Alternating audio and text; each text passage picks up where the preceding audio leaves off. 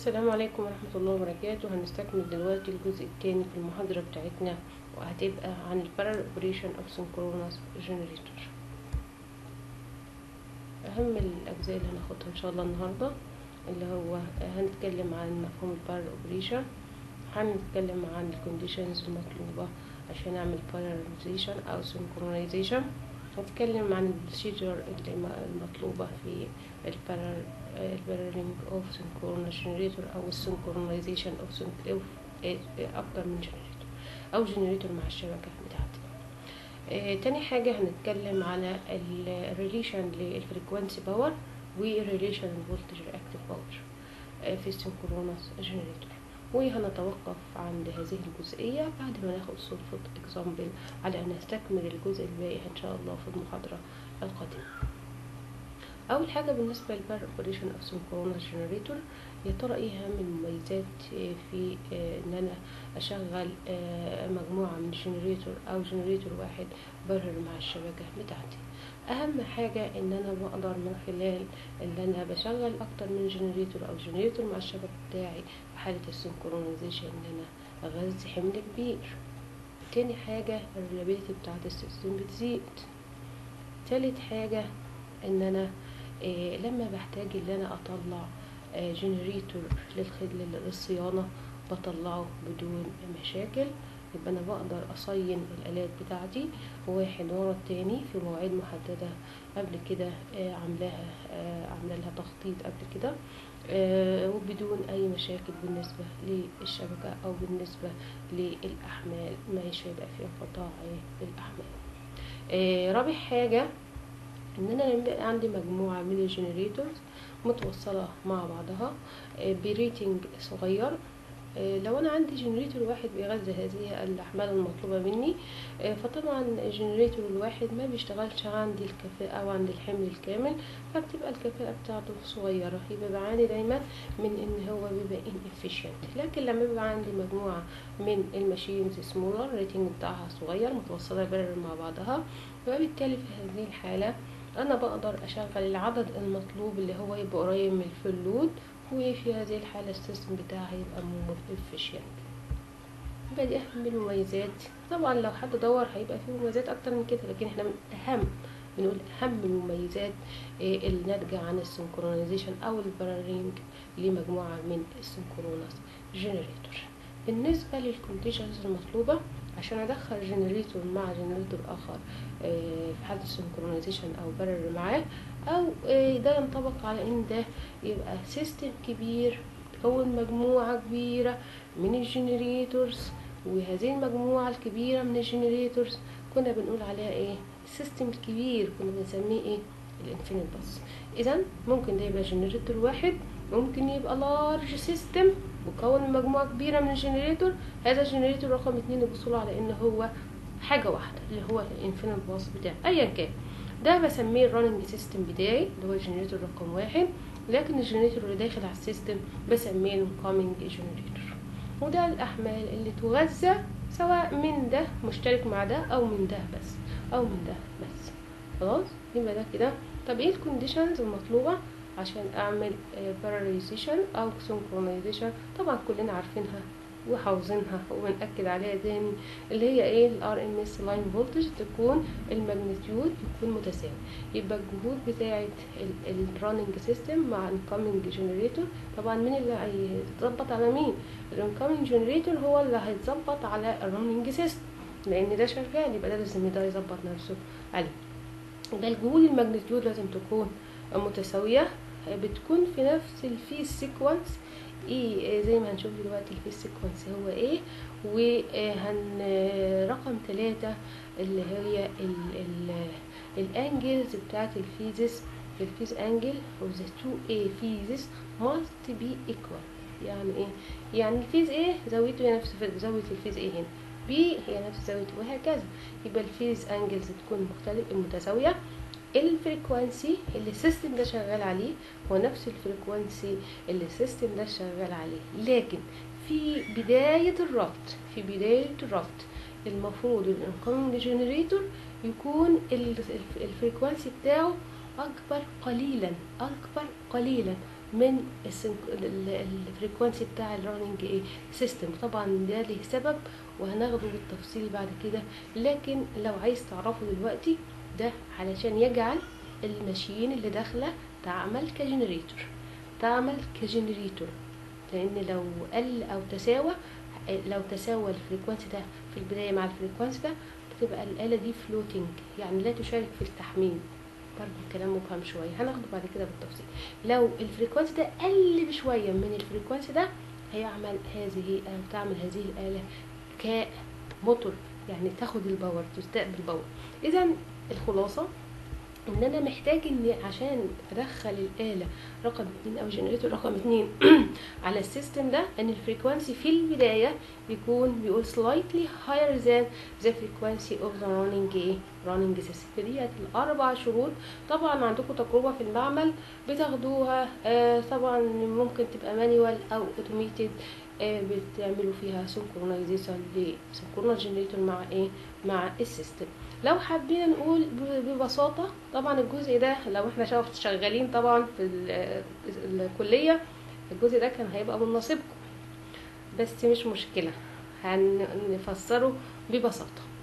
بالنسبة لل condition رقم واحد طبعا أقدر أتحقق منه اللي هو ال magnitude عن طريق voltmeters. voltmeters ونقيس الجهود بين ال phases المختلفة. خلاص؟ بعد كده بالنسبة لل condition رقم اتنين اللي هو إيه بقى؟ ال sequence المفروض إن ال sequence يكون مظبوط. إيه ال sequence بقول إن أنا عندي two possible phase sequence of 3 phase system اللي هو اللي قدامي ده ال ABC sequence وال ACB phase sequence زي ما إحنا شايفين ال sequence هنا اللي هو ال ACB sequence ال ABC sequence بتاعي مختلفين. أكيد لو ده بتاع ال system أو ده بتاع ال system بتاعي running system بتاع ده ال incoming generator وتوصلوا مع بعض ممكن تحصل كارثة. ليه؟ لأن اختلاف زوايا الجهود حتى لو ال magnitude متساوي ده هيؤدي إن في تيار في circulating current هيمر وده هيدمر الإيه؟ الآلة بتاعتي. المفروض أربط جهد متساوي phase متساوي يعني sequence متساوي. خلاص لأن أنا كده ممكن أربط ال phase B مع ال phase C وأنا مش واخدة بالي وال phase C مع ال phase B. طبعا كل واحد له زاوية مختلفة عن الايه عن الآخر. أما بالنسبة لل condition رقم أربعة اللي هو التأكد من إن ال frequencies متساوية ومع اعتبار إن في شرط صغير إن أنا أخلي ال incoming generator ال frequency بتاعه أكبر قليلا قليلا. خلاص من ال frequency بتاع ال running system طبعا لو الكلام ده مش متحقق إحنا عارفين بقى حالة ال transient اللي إحنا أخدناها قبل كده وعدم تحقق ال stability بتاعتي وهيبقى فيه مشاكل بالنسبة لل stability ال condition ده لازم يكون متحقق. طيب إيه زي ما قلنا أول عشان احقق الكلام ده الخطوات أهي قدامي. أول حاجة زي ما قلناها بالفولتميتر هتحقق من ال magnitude بتاع الجهود. تاني حاجة بالنسبة phase sequence المفروض إن أنا أتحقق بيه بطريقة أو بأخرى. إيه في الطرق مختلفة بصراحة. أول طريقة إن أنا أجيب كده small induction موتور وأروح على ال generator ده وآخد أدوره من إيه من two line وأشوف اتجاه الحركة. وبعدين على نفس الاتنين phase وأدوره وأشوف اتجاه الحركة. لو اتجاه الحركة واحد يبقى ال sequence بتاعه واحد لو اتجاه الحركة مختلف يبقى ال sequence مختلف. دي طريقة. الطريقة التانية اللي أنا بستخدم ال three light bulb method ال three light bulb method ممكن تبقى مختلفة. two light bulb method يعني الطريقة دي نفسها في أكتر من connection ليه عشان محدش محدش يستغرب معايا. يبقى هذه الطريقة اللي هي استخدام اللمبات لها أكتر من connection بس على حسب ال connection هقدر أقول إمتى يبقى ال sequence بتاعي مظبوط وإمتى ال sequence بتاعي يبقى reverse هنا أنا هوصلهم directly A مع A و B مع B و C مع C. يبقى المفروض إن هما كلهم يبقوا ماشيين مع بعض. يعني إيه؟ يعني لو هما ال sequence مظبوط هيقيدوا مع ينوروا مع بعض ويضلموا مع بعض.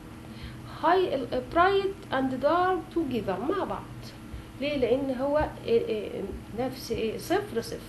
maximum maximum خلاص؟ طيب لو هما مختلفين هلاقي في تتابع.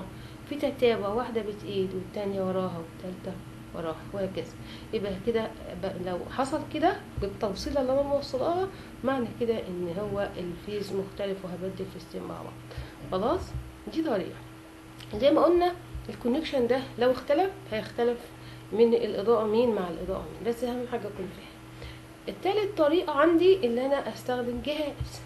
الجهاز ده بيعرف بياخد فيزتين phase A؟ من هنا و phase A من هنا ويتأكد أو phase B من هنا و phase B من هنا ويتأكد إن هما مع بعض ال frequency ال sequence بتاعهم واحد. خلاص؟ هنشرحه بعد شوية. يبقى using إيه؟ using الجهاز ده اسمه ال synchroscope. ال synchroscope ده يعتبر أفضل طريقة لمعرفة الايه لمعرفة ال sequence بتاعي. خلاص؟ بعد كده إحنا قلنا آه، أول حاجة اللي هي ال magnitude تاني حاجة ال phase sequence تالت حاجة اللي هي النكس ديت اللي هي تتحقق من إيه؟ من ال frequency تتحقق من ال frequency خلاص؟ هتحقق من ال frequency عن طريق عن طريق ال frequency meter يبقى أنا هتحقق منه عن طريق آه، ال frequency meter آه، ال synchroscope اللي هنعرف بيه ال phase sequence بيستخدم ل phase واحد يعني مش فيزات مختلفة لا بياخد phase مع phase بيعرف ال phase difference between the two A phases أو ال B phases لو المؤشر بتاعي ده بالظبط vertical سواء فوق أو تحت zero أو مية وتمانين يبقى في هذه الحالة الاتنين phase متساويين يعني ده phase A وده phase A أما لو آه، مختلف سواء كان في الاتجاه ده أو في الاتجاه ده معنى كده ال- ال sequence بتاعي إيه؟ مختلف. خلاص؟ آه، المفروض إن أنا آه، آه، أجعل طبعا آه، ال fast وال slow بيدل على مين ال- إيه ال- ال- آه، ال sequence بتاعه بيزيد عن الايه عن أو عن الآخر. خلاص؟ ال phase sequence بيبقى indication أو ليه علاقة برضه بال frequency يعني بيتعلق بال frequency آه، لو بيقول لي ال incoming generator faster than ال running system اللي هو ده اللي إحنا عايزينه أصلا عايزين ال frequency يبقى زيادة شوية صغيرين هنلاقي إن ال phase angle بتاعه اللي هو ال incoming generator هتبقى زيادة بشكل صغير جدا عن الايه عن ال phase الآخر. يعني ال ال الاتجاه بتاعي هينحرف قليلا. في اتجاه الايه ال- انحرف قليلا في اتجاه الاتجاه الموجب ده الاتجاه يعني بشكل صغير جدا. يبقى هو المفروض لو هو كده vertical يبقى الاتنين زي بعض بالظبط. ده بالنسبة لل sequence بس علاقته إيه بقى بال frequency إن هو ال frequency بيأثر على ال phase أصلا بيأثر على ال phase. فلو ال frequency بتاع ال incoming generator أكبر قليلا وده اللي مطلوب. فال phase بتاع ال incoming generator هيزيد بشكل بسيط جدا جدا عشان يمكنه من إن هو إن هو يدخل على الشبكة ك generator. في هذه الحالة الانحراف قليلا جدا. بقى ساعة ما أتأكد من إن ده مظبوط عندي في هذه الحالة بقدر أوصل ال- ال- ال switch بتاعي. خلاص كده؟ طبعا الطريقة ديت المفروض تقروها أنتوا بقى برضو بالتفصيل وهي تجربة عندكم في هتعملوها سواء كانت manually أو automated هتتعمل عندكم في المعمل. اذا بيقول ان إن في ال large generator ده كله بيتم إيه؟ automated كده الجزء بتاع اللي هو التجربة ال synchronization بشروطه بخطواته خلصت معانا. ندخل بقى على أهم الإيه؟ العلاقات اللي إحنا محتاجين نفهمها كويس في ال power system خاصة في حالة ال synchronization أو في ال parallel operation أول حاجة هي ال frequency power طبعا واخدين قبل كده ال term الاولاني frequency أو الدلتا مع ال power ال- الجهد مع ال reactive power العلاقة reactive power يبقى جهد. دلتا أو frequency يبقى إيه؟ يبقى power خلاص؟ يبقى ده العلاقات دي إحنا محتاجين نعرفها محتاجين نعرف إن لأي آلة لها آه، مميزات وخواص آه، أول خاصية لأي آلة أو synchronous generator حاجة اسمها ال speed droop ال speed droop ال SD of a prime mover بتتعرف من العلاقة اللي هي إيه؟ ال SD هو عبارة عن التغير في سرعة ال generator من حالة ال no load لحالة أو التغير في السرعة من ال no load لل full مقسوم على ال full يعني لما احمل السرعة هتقل إزاي؟ يعني السرعة هتتغير. يا ترى الآلة ده هي بتتأثر إزاي؟ سرعتها بتتأثر إزاي بالتحميل؟ يبقى دي بتوصف شكل السرعة أو تغير السرعة مع الإيه؟ مع التحميل. وهنشوف العلاقة بعد شوية. يبقى ال N no load ال N no load أهي ناقص ال N full load اللي هي ال full load prime mover speed على واحدة فيهم تعتبر دي speed regulation يعني هي دي regulation بس بنقول عليها اسمها ال speed droop وفي الغالب طبعا في ال synchronous generator بنلاقي إن ال speed droop بتبقى في حدود ال typical values من 2 ل 4 من 2 ل 4 هل ممكن إن أنا أظبط ال no load synchronous speed آه في حاجة اللي هي set point adjustment بتسمح بإن أنا أغير ال no load speed للتربينة. وده هنعرفه بالتفصيل دلوقتي ويا ترى إيه أهميته عندي. يا ترى إيه أهمية الجزء ده؟ طبعا زي إحنا بنقول كده في الغالب أنا في ال synchronous generator ما بتعاملش قوي مع الايه مع السرعة. يهمني أتعامل مع ال frequency أكتر. ليه؟ لأن أنا بقول الآلة المربوطة على ال system. ال frequency المفروض واحد. فأقول ستين ستين. طيب خمسين خمسين. يا ترى مع التحميل الوضع هيبقى عامل إزاي؟ يبقى أنا دلوقتي في هذه الحالة وأنا بشرح هشرح ال characteristic بتاعة generator واحد. ليه؟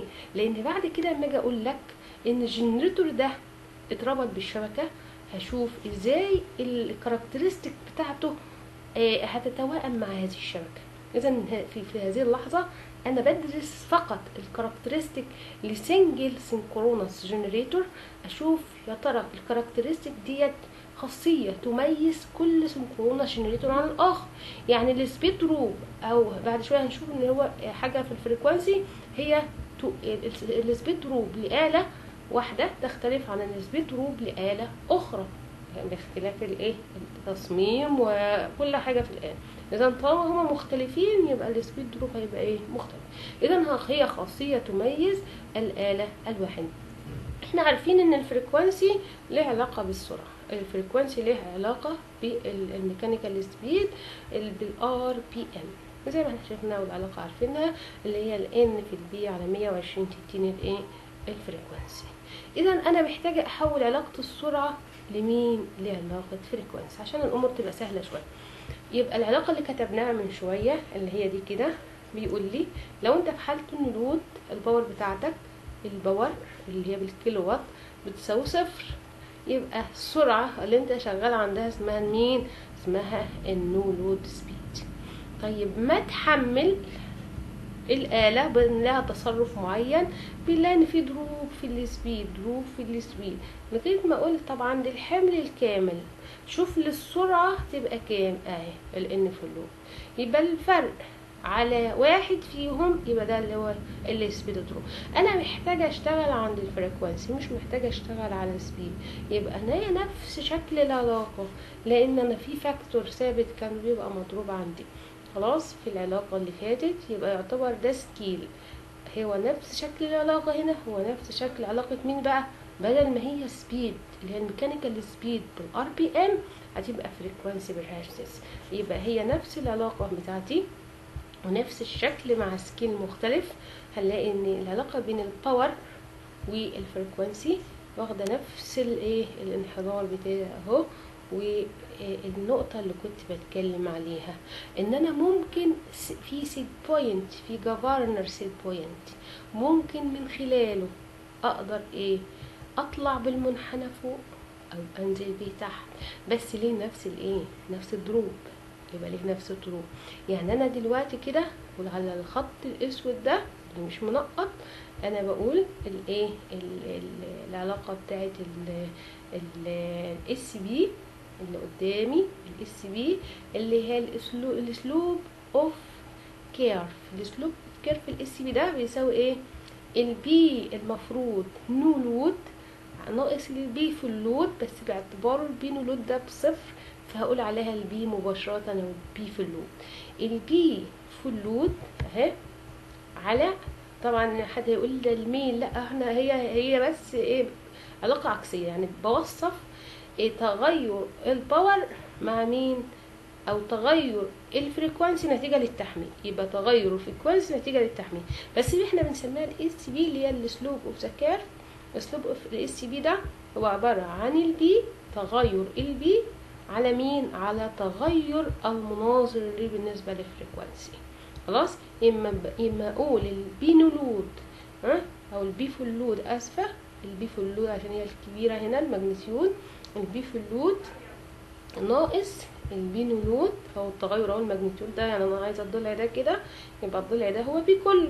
هو P على مين؟ على الجزء ده اللي هو البي نولود ناقص الاف نولود على الايه على ال F full ال F full load دي طبعا لو أنا اشتغلت عن عندي إيه؟ عندي P full load طب لو عندي أي P هقول عليها P بس وأقول على ال frequency اللي أنا شغالة ال F system خلاص يبقى عندي البي أي P عندي هقول عليها ال frequency المقابل عليه هقول عليه ال F ال F system إذا هذه العلاقة ال P تساوي ال SP أو العكس الاس بي تساوي البي على الاف نولود ناقص الاف إيه سيستم حيث البي هي الباور اوتبوت والاف الاف نولود والاف سيستم زي ما عرفناهم دلوقتي. زي ما قلت لك بعد شوية هنشرح إن المنحنى ده ممكن تحريكه فوق أو تحت. فوق أو تحت طب احركه إزاي فوق أو تحت. عن طريق إن أنا في البداية خالص عند ال no load أقدر أتحكم في مين؟ في ال F أتحكم في ال F بتاعتي. أتحكم في الدلتا. أتحكم في فتحة البخار. أتحكم في ال governor. point اللي هي فتح اللي عند ال no load لو أنا بدأت من هنا هيبقى المنحنى هيبقى كده. لو أنا بدأت من هنا هيبقى المنحنى هيبقى كده. لو أنا بدأت من هنا هيبقى المنحنى هيبقى كده.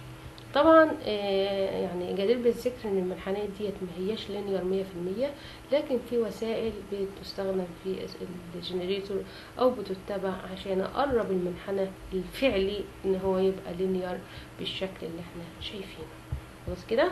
يبقى إحنا كده دي العلاقة بتاعتنا وهي طبعا دي مهمة دلوقتي وهتبقى مهمة لما أوصل ال generator على الإيه؟ ال infinite bus. علاقه ال frequency power قلناها أما ال voltage reactive power بنفس الطريقة بس في اختلاف بسيط. يبقى هو الجهد. هنلاقي الجهد مع ال reactive power. طب ما إحنا عارفين من المحاضرة اللي فاتت إن أنا عندي في حالة ال lag power factor إيه اللي كان بيحصل للجهد مع التحميل؟ كان بيقل.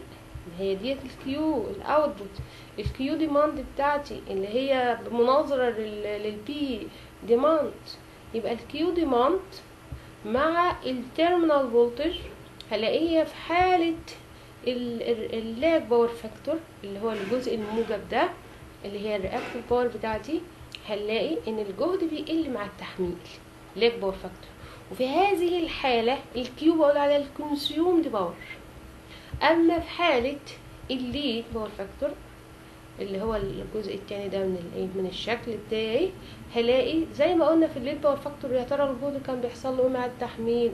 كان بيزيد. فاكرين ال external characteristic؟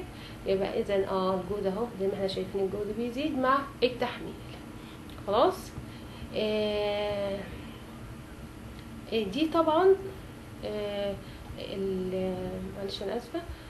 الجزء ده ال Q بتاعتي ال Q دي كده بتعطى بتعطى للإيه؟ لل system. يعني بتعطى لل system. آه يعني يعني ال system بياخدها كده زي ما يكون الحمل بيمده الحمل بيمده بالايه بال Q أما هنا آه دي supplied يعني إيه؟ يعني باخدها من ال system. يبقى ال Q في حالة ال lag power factor باخدها من ال system. لكن ال Q في حالة ال lead power factor تعطى تعطى لل system. خلاص؟ يبقى أنا كده هنا ديت إيه؟ ديت بالنسبة لل VQ characteristic يبقى ديت ال characteristic بنفس الطريقة. أنا ممكن أغير ال set point بتاعت مين؟ أو أغير المنحنى اللي أنا شغال عليه فوق وتحت. طبعا ديت ليه مميزات هنعرفها بعد شوية. طيب أغيره فوق وتحت إزاي؟ في حالة ال frequency active power قلنا عن طريق فتحة البخار عن طريق ال governor set point هقدر أغير. طب هنا أغير إزاي؟ إحنا عارفين. إحنا عارفين إن ال Q لها علاقة بال excitation إذا وال V لها علاقة بال excitation إذا عن طريق ان أنا هغير ال excitation يعني فاكرين يا حلوين إن تغيير ال excitation ده كان عبارة عن إيه؟ عن أو كان بيتم فين؟ في ال automatic voltage أو مش هنقول أوتوماتيك بقى نقول هو عن طريق ال voltage regulator يبقى عن طريق تغيير ال excitation اللي هي بتتم من ال voltage regulator الموجود في الايه في ال system بتاعي بقدر من خلالها أغير ال no load voltage بتاعي وبالتالي يبقى أنا هسلك مع إيه السلوك بتاعي هيبقى على نفس الايه الخط ده. لو ال no load voltage غيرته بقى هنا كده النقطة دي يبقى ده المرحله اللي أنا هشتغل اذا إمكانية التغيير فوق تحت تبقى من خلال ال voltage regulator في ال V Q ومن خلال ال set point governor point في الايه ال F P كده مفهوم النقطة دي؟ طيب نروح للي بعدها. اذا لو أنا مشغل الآلة بتاعتي دي رقم واحد يبقى ده أول جزئية هناخدها النهاردة. إن شاء الله. إن ال generator بتاعي is operating alone يعني بيشتغل لوحده. ما هواش يعني يعني شغال لوحده وأنا شغال على ال characteristic بتاعته. يعني بيغذي حمل معين من غير ما يبقى في عندي parallelization أو synchronization أو paralleling عندي. يبقى دي في البداية عشان أفهم إزاي الخطوة اللي بعدها هدخل ال generator على ال infinite bus أو على ال system الكبير وأعمل له synchronization اذا بنقول لو اشتغل هو alone فطبعا مين اللي هيتحكم؟ مين المتحكم؟ المتحكم هو الحمل. الحمل هو اللي بيطلب وأنا بنفذ. يبقى الحمل يطلب وال generator ينفذ. خلاص؟ اذا ال P اللي هي active power وال Q اللي هي ال reactive power اللي ال generator هيطلعها دي هتبقى معتمدة على الطلب بتاع الايه بتاع الحمل. يعني ال generator ما يقدرش يتحكم فيها لأ هو بيدي المطلوب. هو بيدي الايه المطلوب. عشان كده بقول لك إن ال governor set points اللي هي بتتحكم اللي بالنسبة لل generator أنا لو أنا عايزة أظبط نفسي ك generator على ال power بتاعتي المطلوبة مني وال Q المطلوبة مني بحيث إن ال drop بتاعي ما يبقاش إيه أقل من المطلوب فالمفروض أغير في نقط ال no load بتاعتي. أغير في نقطة ال frequency عند ال no load عشان عند ال load عند ال full load أقول له أنا عايز كذا. يبقى هيديهولي. خلاص؟ يبقى أنا هظبط نفسي ك generator عشان أطلع ال full load المطلوب. طب هظبط في مين؟ هظبط في ال no load وال terminal voltage هظبطه في ال no load عشان يطلع لي الجهد المطلوب في حالة ال full load يبقى ده لو ال generator شغال لوحده ما بقدرش أتحكم في ال Q demand وال P demand لكن أقدر أتحكم في ال terminal voltage اللي عند ال full load وال frequency اللي عند ال full load عن طريق التحكم في نقط البداية اللي هي ال no load voltage وال no load frequency مظبوط كده؟ في أي مشاكل؟ أتمنى إن شاء الله إن ما يكونش فيه مشاكل في فهم الجزئية ديت. أنا ماشية معاكم واحدة واحدة علشان بعد كده الدنيا تبقى بسيطة معانا. هناخد دلوقتي example على الجزئية ان ال generator شغال alone وبيغذي حمل لوحده. هنشوف يا ترى ال characteristic بتاعته هي إيه, إيه هي هت أو ال frequency بتاعه هيتغير إزاي مع التحميل ال load بتاعه هيتغير إزاي مع التحميل. هذا ال example بيختبر تغير ال frequency مع الايه مع التحميل. فبيقول لي في ال example اللي قدامي ده إيه اللي أنا عندي؟ شايفين كده أوريكم الأول. أنا عندي generator أهو. turbine generator. generator بيتدور عن طريق تربينة. بيغذي حمل واحد أكيد. وحمل اتنين اختياري. يعني ممكن أدخله وأخرجه. خلاص كده؟ نقرأ بقية المسألة. فبيقول لي إن ال generator ده أهو بيغذي حمل واحد وممكن يغذي حمل كمان اتنين معاه في الشكل اللي قدامي ال second load is to be connected in parallel with the first one. ال generator has a no load frequency of واحد وستين هرتز. and a slope اخد بالي من ال slope واخد بالي من التمييز عشان ده مهم جدا جدا على فكرة. التمييز في ال SP ميجا وات لكل هرتز. تاني ميجا وات لكل هرتز. معناه إيه؟ واحد ميجا وات لكل هرتز. يعني كل ما بحمل زيادة كل واحد ميجا وات ال frequency يقل بواحد هرتز. يبقى كل ما احمل واحد ميجا وات زيادة ال frequency أو التغير في واحد ميجا وات يديني واحد هرتز. مظبوط كده؟ يبقى ال load واحد consumes a real power of 1000 كيلو وات عند power factor 8 من 10 lag power factor ال load اتنين لو اتوصل هياخد أو هو محتاج real power 800 كيلو وات عند point سبعة zero سبعة power factor lagging محتاج مني إيه؟ طبعا مسألة بسيطة وتمهيدية. Before the switch is closed يعني من قبل ما الحمل التاني يدخل. What is the operating frequency of the system ده عايزه. آه. بعد كده رقم اتنين. طب لما الحمل اتنين is connected طب يا ترى ال frequency هيتأثر إزاي؟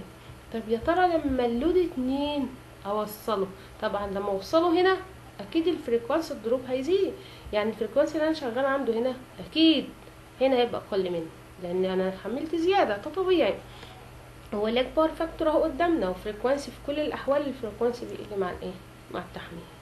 بعد ما ما ما شغل ال load اتنين ده يا ترى في اكشن تصحيحي ال operator ممكن يعمله عشان ال system بتاعي ما يشتغلش عند ال frequency الصغير اللي, هن... اللي هنحسبه بعد شوية؟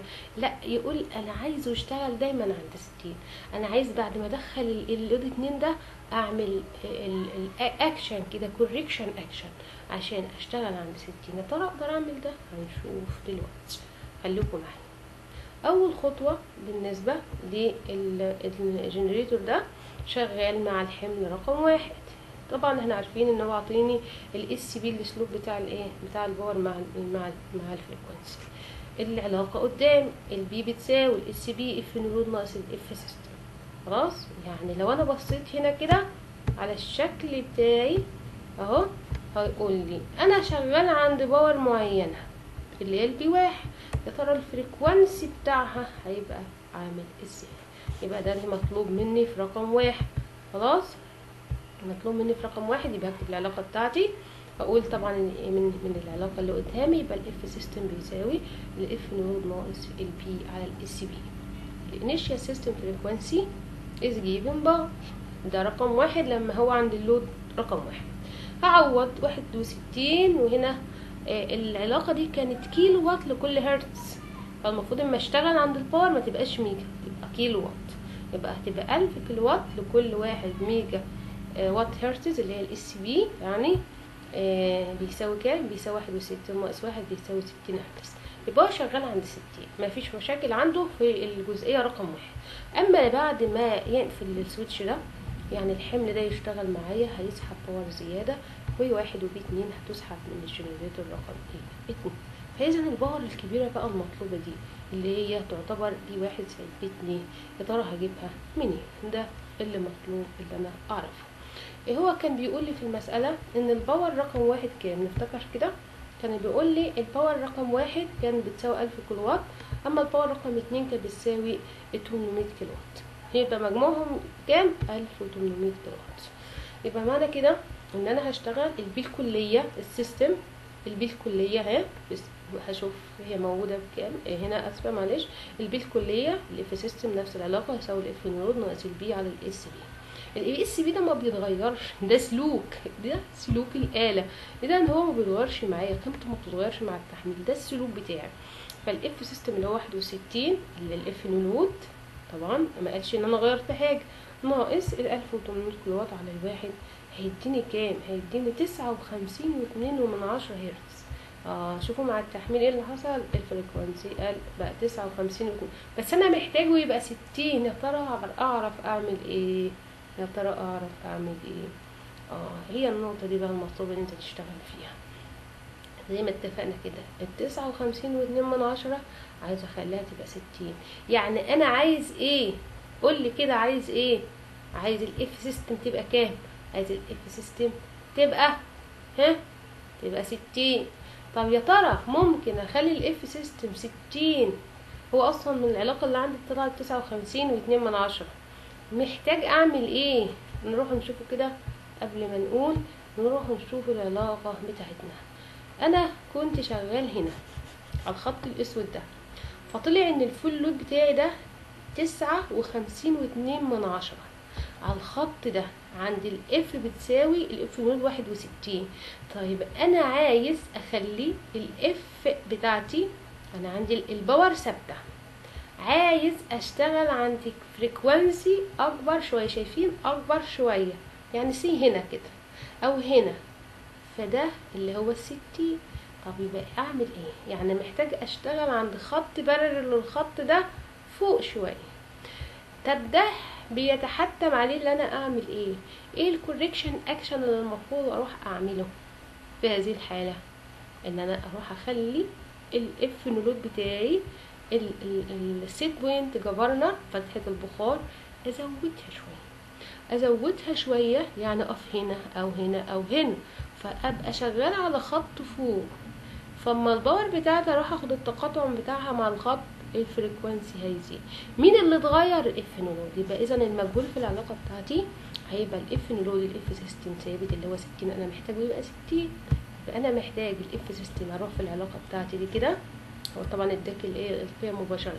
تروح في العلاقة بتاعتك تقول ال F system ب 60 ال F no load مجهول ده زي ما هو 1800 على واحد ميجا واط لكل هرتز أطلع ال F no load الجديد. ليه؟ اللي هيديني ال F system ب 60 فلما عمل كده طلع إن ال F no load المفروض يبقى بكام؟ بواحد وتمانين وتمانية من عشرة هرتز. وده ال correction action اللي هو المفروض يعمله عشان يشتغل على ال F بتاع ال full load power بستين هرتز. مفهومة؟ طبعا إن شاء الله تاخدوا عليها مسائل ولو في أي استفسار أنا معاكم. خلاص؟ يبقى إحنا من خلال الكلام ده هنقدر نلخص إن ال generator لما بيشتغل لوحده مع الحمل بيغذي بنفسه. ال load بيبقى ال real وال reactive power supplied by generator ديت مطلوبة من الحمل. الحمل طالبها. اما بقدرش ال generator ما بيقدرش يتحكم فيها. يقدر يتحكم في إيه؟ إيه اللي ممكن أعمل عليه؟ control هو ال set point بتاعة الايه بتاعة ال frequency علشان يبقى ال governor set point أو ال generator governor set point بقدر أتحكم من خلالها في ال F no load frequency في حالة ال no load عشان أقدر أتحكم في مين؟ في ال frequency عند ال full load اللي أنا عايزه. وبالتالي يبقى أنا مشغل ال system عملت تحكم على ال frequency زي ما أنا عايز وزيه بالظبط لو أنت هتشتغل على ال terminal voltage مع ال reactive power نفس الاكشن ممكن أعمله بس حدد الأول أنا شغال lead power factor ولا lag power factor إن شاء الله إن شاء الله دلوقتي النهارده هنكتفي بهذه الجزئية على أن نعاود المرة القادمة ال synchronization بس لما يبقى ال generator بتاعي مربوط مع ال system الكبير اللي هو ال infinite bus أتمنى إن شاء الله إن أنتوا تكونوا استفدتوا وفهمتوا المحاضرة النهاردة وأي سؤال أنا منتظرة وتحت أمركم. وشكرا السلام عليكم.